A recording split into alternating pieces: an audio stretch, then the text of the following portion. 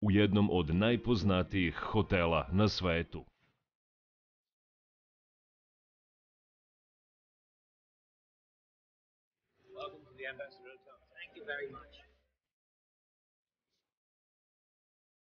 Životi 22 ljudi povezat će se u danu koji će promeniti istoriju.